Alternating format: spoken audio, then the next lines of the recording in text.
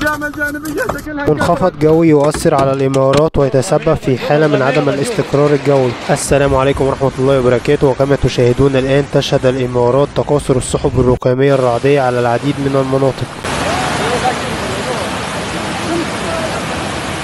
بما فيها إمارة الشارقة مصحوبة بأمطار متفاوتة الشدة غزيرة أحيانا مصحوبة بتساقط زخات كثيرة من البرد مع حدوث عواصف رعدية. فكان يا الربع. ومن المتوقع استمرار هذه الحالة من عدم الاستقرار إلى الأسبوع المقبل وتشكل العديد من السحب الركامية مع نشاط رياح سرعتها من 10 إلى 20 وتصل إلى 30 كيلو متر في الساعة.